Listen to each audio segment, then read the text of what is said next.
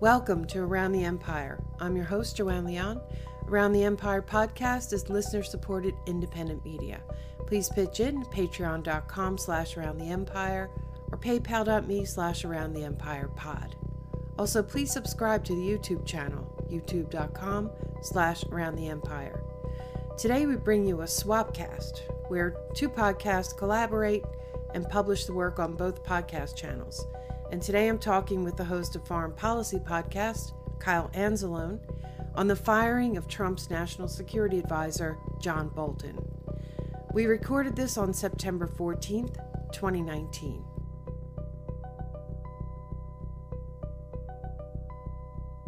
All right, everyone. Well, I'm Kyle Anzalone, and welcome to a Swapcast episode of the Foreign Policy Focus podcast, which I am the host, and the Around the Empire podcast, and the host of that is Joanne Leon. So, uh, you know, we're kind of doing co-hosting duties today, but I'll try to get us kicked off here a little bit by saying that me and Joanne are going to be talking about John Bolton, uh, a little bit of the legacy, some of the you know more historical terrible things that the guy has done and uh, gleefully reflect on his firing. So, Joanne, I don't know if you have anything more than that to add. Well, I would just like to join in you your celebrations, and uh, we'll have to put some celebratory sound bites in here. I think. No, I was really happy, very happy to hear about it. Although, you know, of course, I'm sort of holding my breath as to who's going to take his place. but yeah, uh, I'm glad he's gone. I, I think it's a good thing all around. I think it would be hard to find someone worse, although they maybe could find someone almost as bad. So we'll we'll have to see. Right. Well, maybe let's start off here with the firing. I know you have a clip put together of Trump's uh, statement talking about John Bolton's firing, and I, am sure everybody in the audience, even if you have seen it, it's just so enjoyable to hear Trump talk so negatively about John Bolton that I think it's worth it to go ahead and uh, play that clip here, and then me and Joanne could talk a little bit about what happens. Yeah, this is a clip of Trump, and he's sitting in the Oval Office uh, responding to questions about why he fired Bolton. The talks with the Taliban are dead. So John is somebody that I actually got along with very well. He made some very big mistakes. When he talked about the Libyan model for Kim Jong un, that was not a good statement to make. You just take a look at what happened with Gaddafi. That was not a good statement to make. And it set us back. And frankly, uh, he wanted to do things not necessarily tougher than me. You know, John's known as a tough guy. He's so tough he got us into Iraq that's tough. And uh, but he's uh, somebody that I actually had a very good relationship with, but he wasn't getting along with people in the administration that I consider very important. And uh, I hope we, we've left in good stead, but maybe we have and maybe we haven't. I have to run the country the way we're running the country. We're doing very well. We're respected all over the world again. Who are your top? Who are your top? Who are your top picks for for to replace? Well, I have five people that uh, want it very much. I mean, a lot more than that would like to have it, but there are five people that I consider very highly qualified, good people I've gotten to know uh, over the last three years. And uh, we'll be announcing somebody next week, but we have some very highly qualified people. But we were set back very badly when John Bolton talked about the Libyan model, and he made a mistake. And as soon as he mentioned that, the Libyan model, what a disaster. Take a look at what happened to Gaddafi with the Libyan model. And he's using that to make a deal with North Korea. And I don't blame Kim Jong un for what he said after that. And he wanted nothing to do with John Bolton. And that's not a question of being tough, that's a question of being not smart to say something like that. So I wish John the best. We actually got along very well. I'm sure he'll, you know, do whatever he can do to, uh, you know, what, spin it his way. Uh, John came to see me the night before. In fact, I think a lot of you people were out there waiting for me to get on the helicopter. I'm sure you have a shot somewhere along the line. And he sat right in that chair. And I told him, John, you have too many people, you're not getting along with people, and a lot of us, including me, disagree with some of your tactics and some of your ideas. and I wish you well, but I'd like you to submit your resignation, and he did that. And I really, I know he's going to do well. I hope he's going to do well, and I wish him well. Yeah, so I think he kind of tells us, it gives us a pretty good idea of why the guy is gone. He doesn't give us specifics about why he's gone, but um, foremost in his mind is that Bolton has made some really dumb statements. His foreign policy and his tactics, uh, I don't know, maybe their overall strategy lines up, but their tactics definitely don't. And, you know, he focuses a lot. He still hasn't forgiven Bolton for sabotaging that North Korea summit that he just completely wrecked, apparently. And the fact that he brought up the Libya model, which Trump finds particularly offensive because, you know, Libya is probably probably Obama's biggest foreign policy failure. It's one that's easy to point to. And, you know, it was very embarrassing. He embarrassed him a lot. But so it's interesting that that's the one that is that seems to be foremost in his mind. Yeah, I mean, I thought that was I- interesting that he did highlight Libya, especially or the you know bringing up the Libya Libya amount with the North Korean talks, because uh, you know that hasn't been this news as much lately. I mean, we had the Trump meeting at the DMZ where John Bolton was marooned to Mongolia and Tucker Carlson and uh, you know attended instead. Uh, but for the most part, you know, the U.S. then carried out some war games with South Korea throughout the month of August that really upset the North Koreans because it was simulating the occupation of their country after a South Korean takeover. And so it, it didn't seem like those talks were really going anywhere at that point. And everything, the recent news has been around the Taliban and, right. you know, a potential peace deal and stuff like that. And so I do want to talk more on the show about John Bolton's, uh, you know, hostility towards North Korea and what he's done to wreck, you know, the potential Korean peace. But uh, you know, for now, you know, maybe just to say recently, Joanne, do you think that the Taliban uh, peace talks played into it at all? And what of this, uh, you know, Camp David meeting that was alleged to have happened that, you know, according to some of the neocons and foreign policy establishment folks on Twitter, was, you know, the, the greatest affront to the 9 11 victims ever? Yeah, um, I expected him to focus on that because with the timing, it's pretty clear that that's the thing. That was the straw that broke the camel's back, if you will, and that probably why they got into a fight and why Bolton is gone. I think there are other factors in the timing as well, but that's the obvious one. Uh, Trump seems to have reversed himself on the Camp David summit that he had planned but you know he he doesn't focus on that in in his you know words to the press which is is curious i think. Now i just saw an interview with um, aaron Mate and john kiriakou and i had listened to a couple of things. Kiriakou came up with an article in june i think it was mid-june who said you know that bolton was on his way out. So we and kyle and i had done an, uh, an episode on this on around the empire back then. So we we really weren't surprised that that Bolton was on his way out. And just to confirm that Bolton was definitely on his way out, um, he had already been sidelined. Let's just listen to this clip by Washington Post Carol Morello as Zalmay Khalilzad, the State Department special envoy for peace talks with the Taliban, as he came up with a draft agreement. Bolton asked to see a copy of it, reportedly, and they refused to send him over a draft of the agreement. They said if he wanted to, he could come in and read it, but they would not give him a copy to take out. Or he just didn't think that uh, the the deal that was being negotiated by Khalilzad uh, was a good one, and he was quite open and vocal about that. So there was a point last month when there was a meeting at the White House uh, between all the principals, really, uh, in national security and the administration.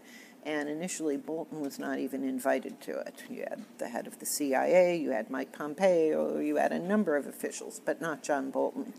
And Bolton's aides apparently appealed to uh, Mick Mulvaney, the chief of staff, and so he finally did get to come, but he had to sort of, you know, push his way in to this meeting. So he was completely being sidelined. The acting national security advisor is Charlie Kupperman, um, and the fact is, the President of the United States asked John Bolton last night for his resignation. It was delivered today.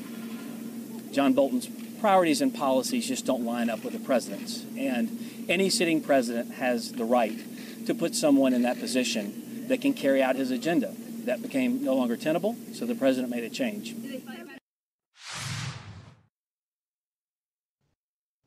But the thing that the new thing that Kiriakou brought to this was that the problem was that Bolton was leaking. And I actually suspected this because it was explosive news that this Camp David summit had been planned and now it was called off.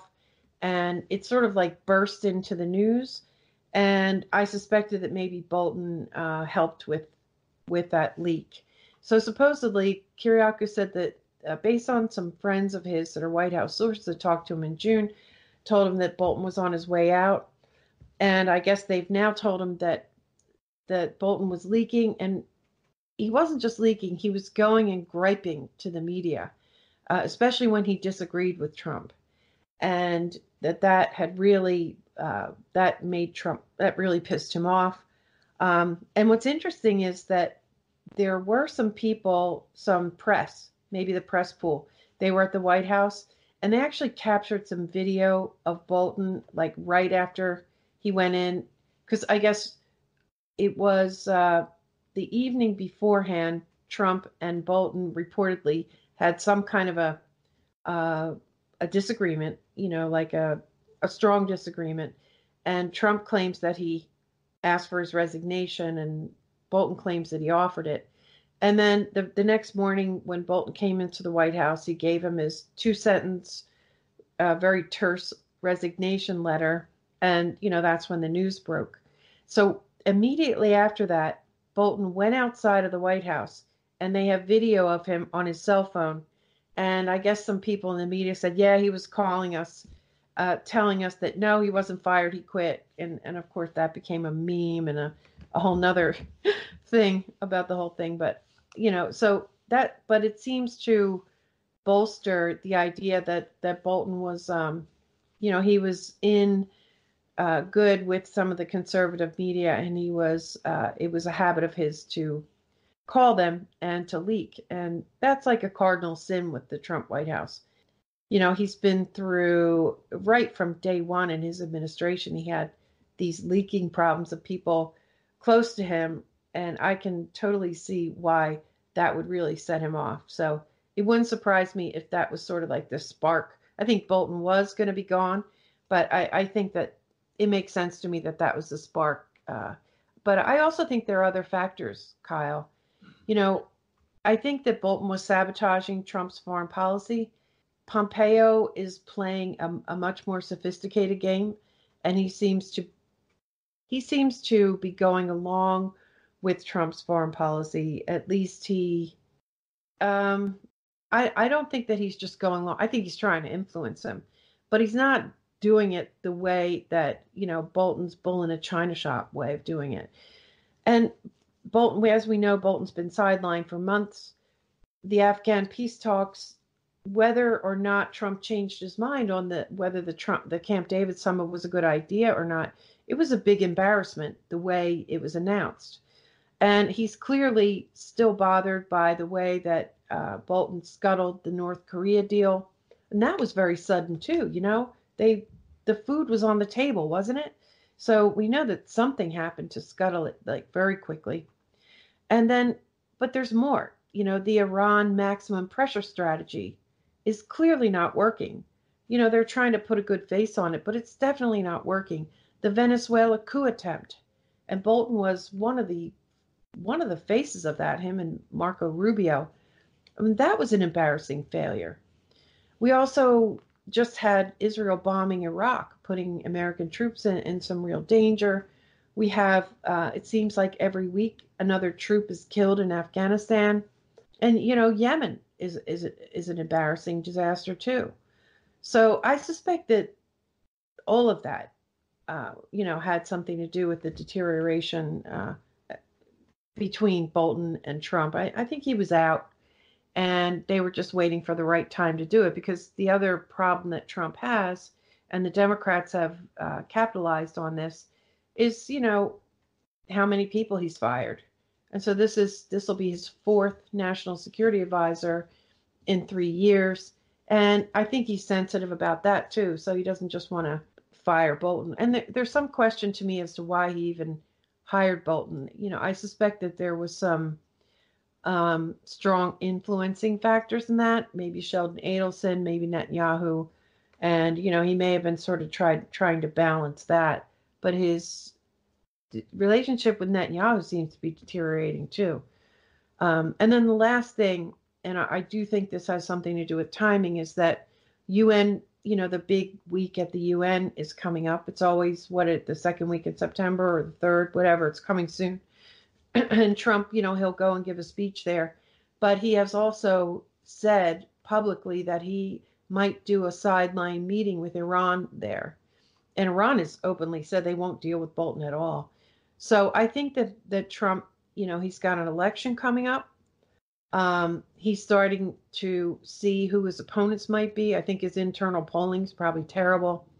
And he realizes he has really no foreign policy wins. Yeah, he hasn't gotten us into any new wars, but you know, he hasn't really kept any of his promises there.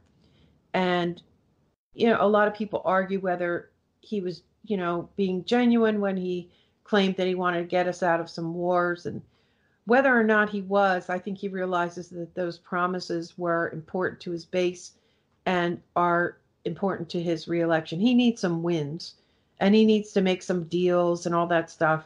And he hasn't done that. And um, I think he saw Bolton as his, uh, as a, the impediment to that. I think he's going all in with Pompeo. He thinks Pompeo can make that happen. I think Pompeo is a very ambitious man. I think he's politically ambitious. And, um, you know, I think that all it needed was a spark for Trump to publicly fire him, and he did it. Yeah, so uh, you know, going back to the the clip that Trump has of you know it, what he's saying, as you pointed out before the show, uh, you know I think we have Trump as probably his most honest and, and, what's most prevalent on his mind when he's just kind of rambling like that and says yeah. things over and over a couple of times. And the thing he keeps going over is that it was very stupid of John Bolton to say the thing about the Libya model. So that tells me that Trump understands a couple of things. What the issue with the Libya model was. There, Muammar Gaddafi turned over an entire nuclear weapons program that he didn't actually have nukes.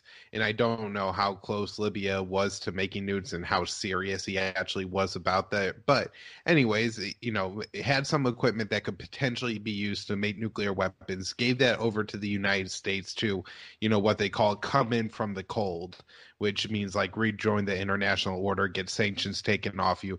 Basically, you know, go from being the North Korean hermit kingdom status to a normal place. Well, that happens, and then a couple years later, uh, Barack Obama takes over and bombs Gaddafi's army and gets the guy, you know, killed in a very brutal way on the side of the road.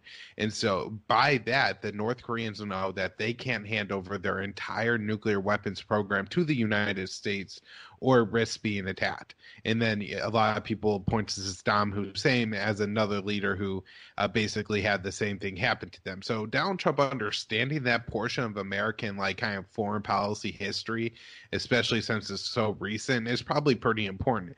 It also says that he understands, you know, that Kim Jong Un knows this as well and, so hopefully there then you know he does go to this kind of step by step model that seemed to be agreed to at the singapore summit. And i believe john bolton was already national security advisor at the time but it was relatively early in, in his time and i think the the meeting had already been planned beforehand. And so you know john bolton was kind of sidelined for that. I remember a couple pictures of john bolton at singapore and he was always off in the background and with the you know most upset looking face you ever see with that ridiculous mustache.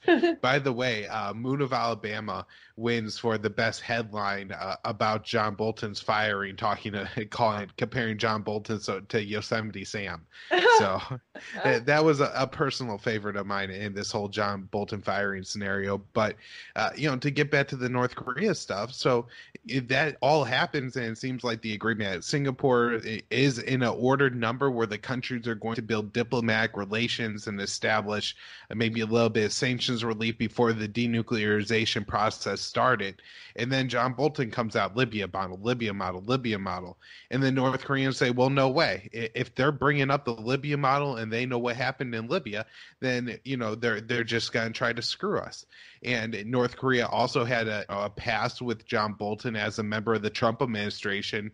I don't think he was probably the spearhead of you know kind of did Cheney and the rest of them in the Bush administration that ruined the agreed framework deal that North Korea had with and made with the Clinton administration. But he was certainly a part of that. So, you know, he brings that up. They, they already know he's killed nuclear deals in the past. He was against the uh, anti-ballistic missile treaty with Russia as well in the Bush administration. So I, am sure for you know North Korea, the, the, hiring of John Bolton and the fact that he's coming out and saying Libya model is a huge red flag for them. And so when it comes to Hanoi, he at the last minute I guess, bullies Trump into, you know, proposing a deal to Kim Jong Un, and I'm sure this was somewhat like uh, what happened with Ukraine, uh, you know, in like I think 2013, 2014, when they went to, you know, go sign a deal with the EU, and then they, you know, came up with an entirely different deal. Well, that's pretty much, I, you know, I think what happened here at Hanoi, where there seemed to be some agreement between at least the two working level talk teams that, you know, this would be a step by step thing and then Trump shows up at Hanoi and says that North Korea must get rid of all of its WMDs before any sanctions are relieved. And of course, the North Koreans turned right around and went home.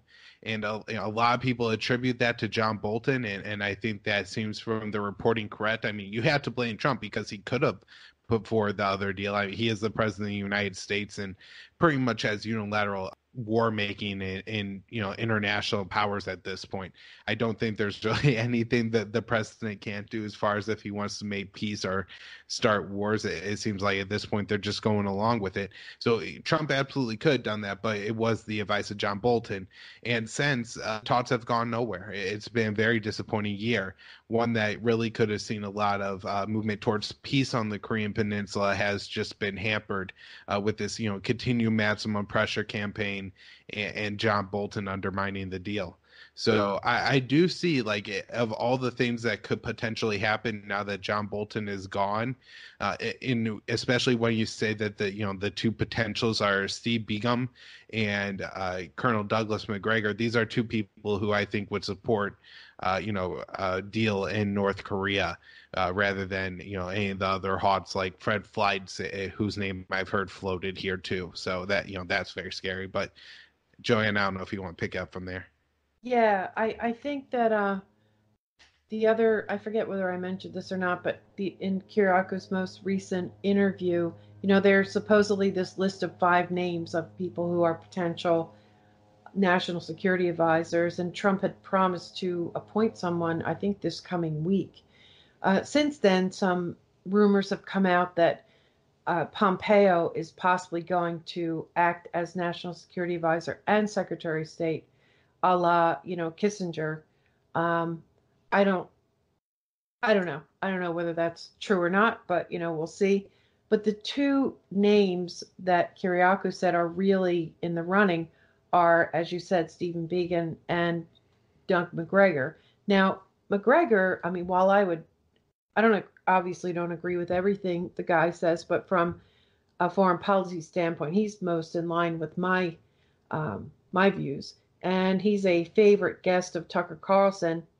And the two of them, and you can go back to Kyle and my, uh, I'll link in the show notes, uh, previous podcast on this subject Bolton. I mean, they systematically destroyed John Bolton on the Tucker Carlson show, and then on the night that uh, that I guess the night after Bolton was fired, they gloated.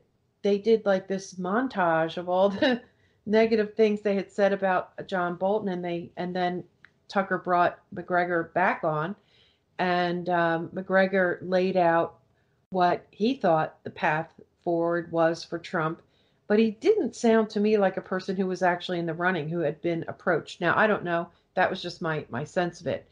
Uh, Stephen Biegun, and on the other hand, I don't really know anything about the guy, but he's the special representative to North Korea. And if he is being considered for this job, and if Trump is, you know, bringing out the topic as foremost in his mind, North Korea, it makes sense to me that he would choose this guy. And Kiriakou said he thinks that he's really the, the front runner. So again, that says to me that Trump wants this deal with North Korea. There have been plenty of rumors that he thinks he could get a uh, Nobel Peace Prize for that, although I don't I don't know whether he will. I think the establishment overall is so um, negative toward Trump. I don't know if they'd ever give it to him, but at the very least, it could be a major foreign policy win. And you know, we have to remember that China and Russia are part of that whole gig too. So they're we don't even know what kinds of talks he's he's having with them. But anyway, back to Biegun, you know, if he's going to be the the national security advisor, it sounds to me like, you know, Trump again is focusing on the thing that he thinks he can get. And um, if I were Trump and I knew that UN week was coming up, and if I planned to have a couple of UN sideline meetings with two extremely disgruntled people who I want to do some talks with, like North Korea and like Iran, um, I would be very wary that John Bolton would step in and throw some kind of a bomb and blow blow up any possible uh, chances of any kind of a talks having any success. And why? Well, because he's done it before, right? And he's done it like really quickly. The way he blew up that North Korea summit was really kind of stunning. Yeah, I'm with you all the way on uh, North Korea there, and like uh, you said that that's U.S. Special Envoy who could be uh, promoted, uh, Stephen Began or Begum. I, I, forget how you say his name. Anyway, yeah, actually, let me get that. I so think he it's is B. It's Biegun. B i e g u n. Biegun. I guess yeah. it's Biegun. I hope we're saying it right. Anyway, sorry if we're not, Mister Biegun. yeah, I, I think he's only like uh, good on North Korea. From what I, have read, I think he's a hawk on Russia and some other things as well. Uh, but at the very least, he has, you know, put forward the idea of doing a kind of freezing uh, Korea's nuclear weapons program and then relieving sanctions from there as a potential agreement and path forward with North Korea, which at least seems practical. And, so on that end, it seems like a good thing, but I don't know if he's actually, uh, you know, going to be good on Iran. Uh, I'm a little bit more skeptical with the whole Iranian talks happening. Uh, there's a few reasons for it. First of all, Trump has always been bad on Iran. Uh, that I don't think was in any way an influence of John Bolton. Now, uh, of course, the previous, you know, people in Trump's administration, I think all Mattis, Tillerson, and H.R. McMaster were more opposed to Trump leaving the Iranian nuclear deal. And so I'm sure having a national security advisor that you know was in favor of it and not opposed to it it uh, you know helped encourage trump to leave the nuclear deal and place all these sanctions and the maximum pressure campaign against iran but at the same time i think those were trump's instincts on his own. And i think pompeo is in line there as well. And so i'm not quite as optimistic about iran for that reason. And also from the you know point of view of the iranians you know they keep saying that we're not going to talk to trump until the sanctions are uh, reversed. And I understand why they I would eh, they the for the deal to like even be renegotiated for them um, I think it would have to go back to the start of the JCPOA because they already gave up so much I don't think they have any. You know, what else are they going to give up? Uh, possibly that's not any sort of just token concession that I'm sure the Democrats will undermine, even if it's just you know giving Trump a little something to save face. All the Democrats will go, "Oh, it was just the old deal because it's going to be campaign season." Uh, so I really can't see anything getting done for political reasons in the U.S. I don't think uh, Iran is very invested, and I don't think Trump is in, as invested in kind of smoothing things over with Iran as he is North Korea. Yeah, I agree with that. And another event that I kind of forgot at the exact same time that Bolton was uh, submitting his resignation, there was a press conference. Mike Pompeo and Stephen Mnuchin, the uh, Secretary of Treasury, and Bolton was actually supposed to be at that press conference. Um, you know, I'm not even sure what the topic of it was because it got hijacked by the Bolton firing. But Pompeo and Mnuchin were clearly almost gloating um, that it's very clear that they were very happy that Bolton had been gone. Um, and, you know, Pompeo said it had a couple notorious statements like, I'm never surprised, he said. And he made some statements about how, you know, the president's cabinet has to carry out the president's agenda. And that was pretty interesting. Now, it was also interesting because they doubled down on their Iraq, on sorry, their Iran policy. Mnuchin said, you know, he said that Pompeo and himself and Trump are totally on the same page on Iran, and the maximum pressure campaign uh, is still on and it's working, which it's not. Um, so, yeah, they sort of reinforced that Iran is, um, they're still all in on pressuring Iran. Now, I don't know if, I mean, there have been some rumblings and maybe even some public statements that, yeah, Iran won't talk to Trump until the sanctions are rolled back.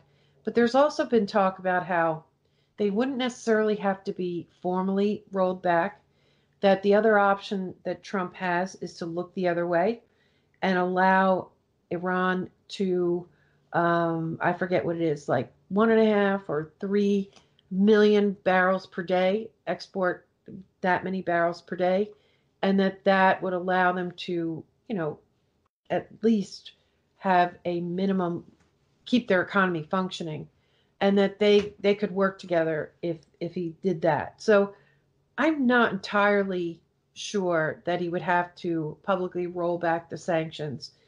You know, I think he's still, I don't know if he's very optimistic about it, but I think he still thinks that he could renegotiate the JCPOA and then come out and say, look what I did.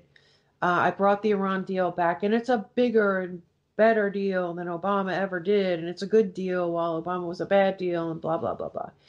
So, you know, I think he's still in the back of his mind hoping he can do something like that. Uh, and maybe that's what he's going to approach in this sideline meeting at the UN um, but I don't know. Yeah, it's that's that's a much tougher one, Kyle, because he he was always on. He always had a really wrong-headed attitude toward that policy to begin with, in my in my view. Yeah, I, I wanted to touch on uh, Venezuela at least, you know, a little bit because I guess in North Korea, where you had John Bolton, who seemed to be going against Trump's instincts and Trump's foreign policy, and then Iran, where you have Bolton going, uh, you know, in line with Trump's instincts and foreign policy. I guess Venezuela is a little bit in the middle, where I think Trump maybe ideally could have gotten on board with a regime change effort in Venezuela, but he didn't seem particularly inclined or interested in the region. But after Bolton took over, the Trump policy towards Venezuela uh, heated up, and it did quickly. Uh, we had, you know, probably a famous speech that will be remembered from this, uh, you know, John Bolton's uh, career as national security advisor will be the tro- uh, Troika of Tyranny speech, where you know he said that these evil regimes, uh, Maduro in Venezuela, Castro in the Communist Party in Cuba, and who is it? Nicaragua. Yeah, Nicaragua. Nicaragua and the communist government there are all the threats of you know kind of and against the United States, and we have to take care of these regimes. And then you know the U.S. as Joanne mentioned before launches a coup attempt. So I don't know eh, if you have more to add, or where do you think the Trump policy goes from here?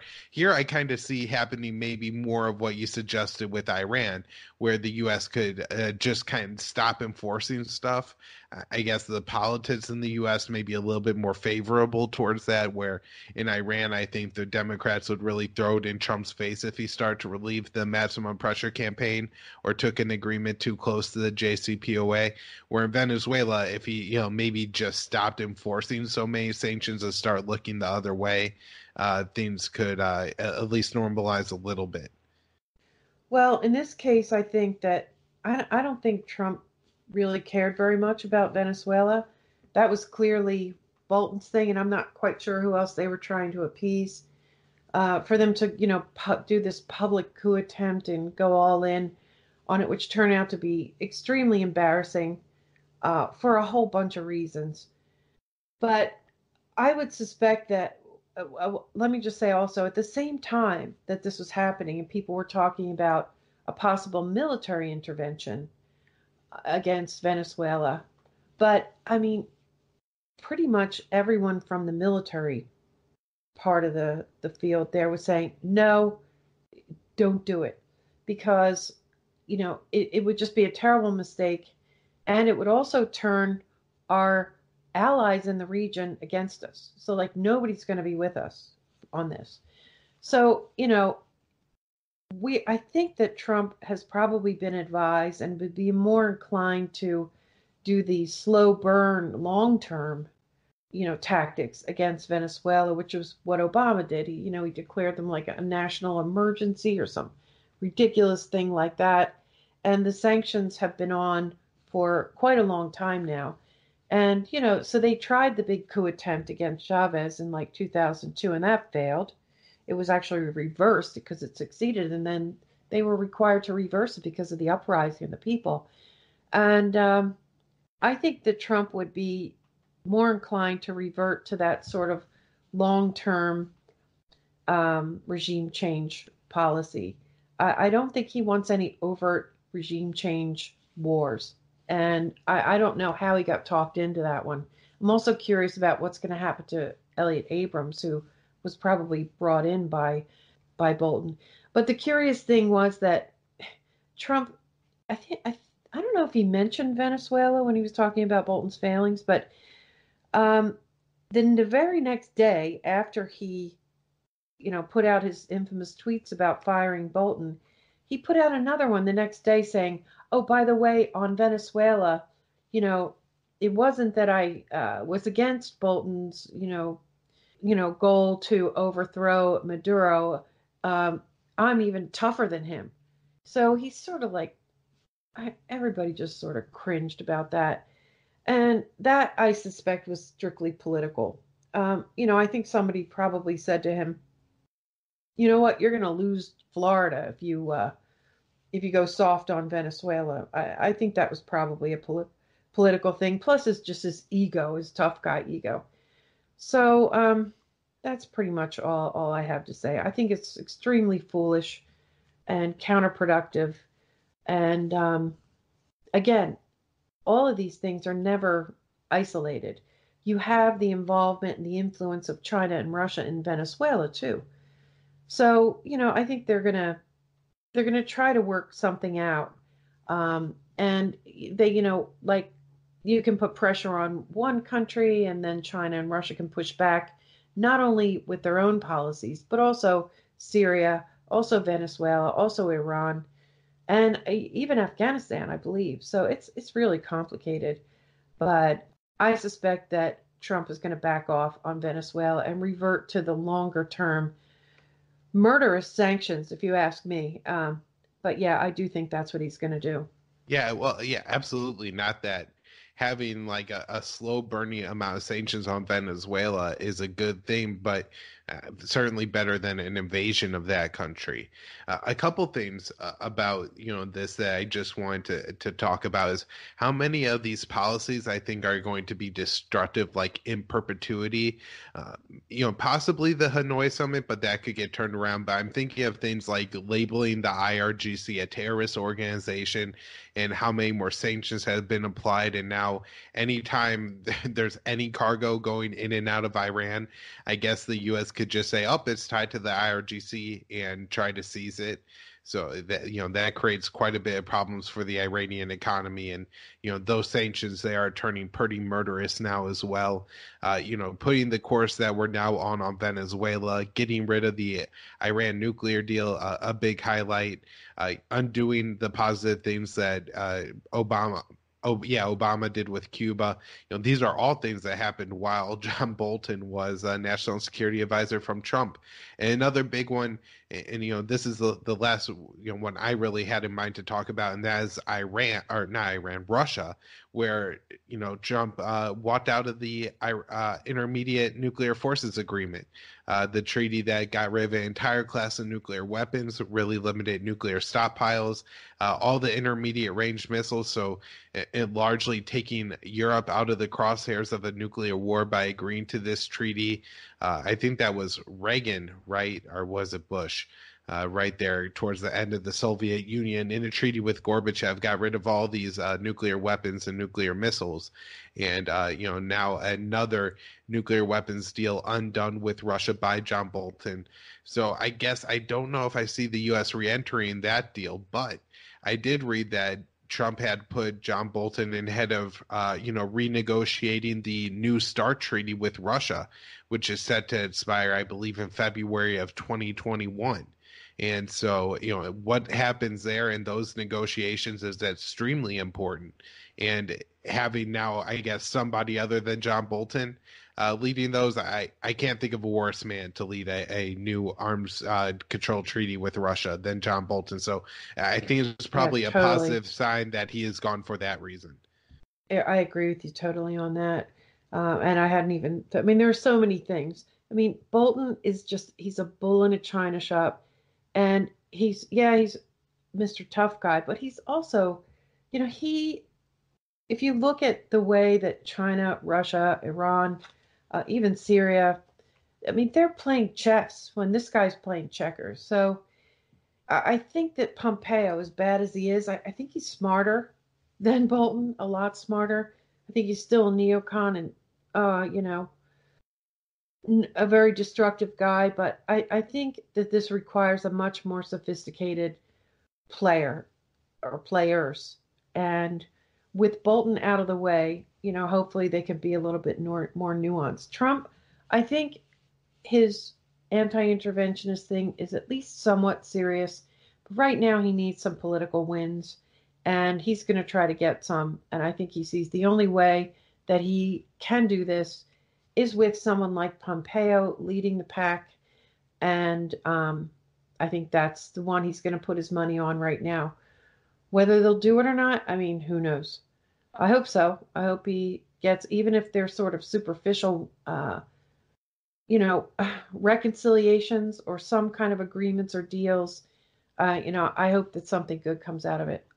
Yeah, absolutely. Anything is better than the status quo. I will say I, am hoping for uh, Colonel Macgregor to to take the job. I think there, you know, if that's the case, there's a real chance we could uh, knock off some of these wars and end uh, some of the the negative things going on in the world. But you know, whoever we get, uh, me and Joanne will be here talking about it. I'm sure we'll do an episode uh, at some point about the new national security advisor. So, Joanne, do you have anything else to add? Uh, I think that's it, Kyle. Thanks so much. Uh, the Swapcast pretty fun. I think we should do it again and um, it was great talking with you. Right, Joanne, uh, your uh, the webpage for your show is aroundtheempire.com, and you find Foreign Policy Focus at thelibertarianinstitute.org.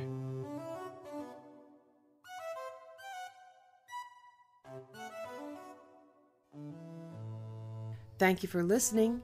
Special thanks to Kyle Anzalone. Follow Kyle on Twitter at KYAAALE Find the Foreign Policy Focus podcast at foreignpolicyfocus.libsyn.com. The Around the Empire podcast is listener supported independent media. Please pitch in patreon.com slash around the empire or paypal.me slash around the empire pod if you can. There are a lot of ways to listen to this show. Find it on any mobile podcast app or on the website aroundtheempire.com or on Patreon, patreon.com slash around the empire, or on YouTube, youtube.com slash around the empire. And if you're listening on YouTube, don't forget to like, share, and subscribe. Also follow on Twitter at Around the Empire. Hey, we'll see you next time. Take care, everyone.